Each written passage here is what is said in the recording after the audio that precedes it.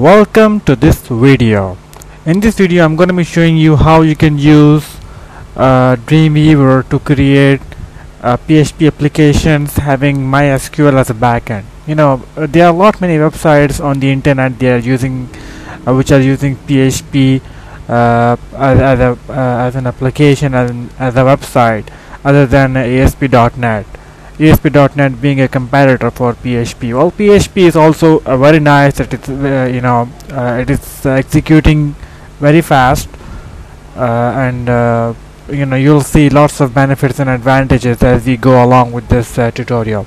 So what? So first, what we need to do is just configure Dreamweaver because we are gonna be using Dreamweaver as as a development tool. There are a lot many development tools available that you can use to develop PHP applications. Well, uh, I find Dreamweaver much nice and uh, uh, it is having a very nice user interface and uh, it is a good development environment actually. So first what we need to do is we need to configure this uh, site okay to make sure that our uh, everything is working just fine. So what we need to do is we need to go to the site menu, click on new site and here we need to specify the site name uh, whatever your website? Uh, I mean actually your the name of your website is gonna go here.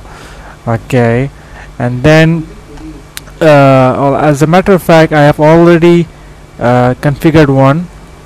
Okay instead of you seeing me writing the whole thing again I can just show you what I've done here. Okay this is the uh, the site that I've already set up. Okay I can just click on this one. I can click on edit. Okay there you go so this is the name of my website. Okay I've just named this one as simple test. And then uh, here this is the folder in your uh, in your root.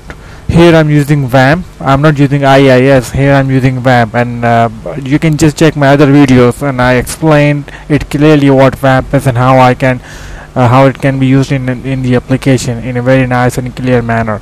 Okay uh, so this is for the local root folder. Okay and here we need to specify the folder where we'll be having all the images in one single folder so that it is easy to to locate any images that you have for your website. Okay and then here for the http address here you need to specify the address of your website. Since i'm running it on a local host i'm specifying as local here. Okay and then we'll go to this remote info uh, link. Now since I'm running it on in, uh, I'm running it on a local host I'm specifying on a local host uh, I mean on a local network. If it was FTP I would have chosen FTP but now it is local I'm just using local here.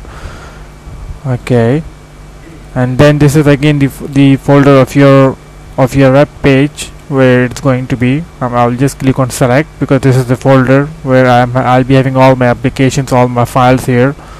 Okay so we'll just select that. And then we'll go to the testing server folder.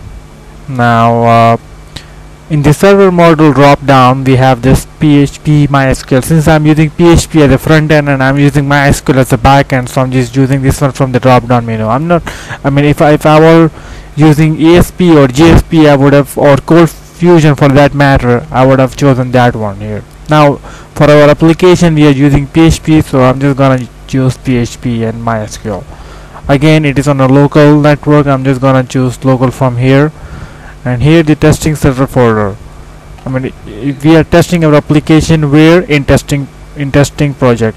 That is the folder of our uh, of our application. So I'm just gonna choose that. And here the prefix in this folder I mean if you, need to specify uh, um, it'll URL of your application here.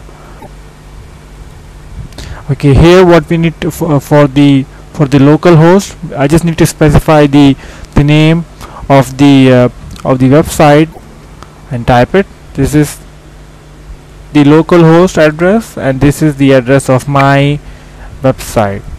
Okay and for the cloaking and other things I can uh, uh, we just need to we just don't really need to get into that because we have set our main basic configurations here. So I'll just click on OK and uh, now this one is all set and done and uh, thank you for watching this video. And in my next video I'll be showing you how I'll be showing you how you can uh, set up the database and how to get uh, the things started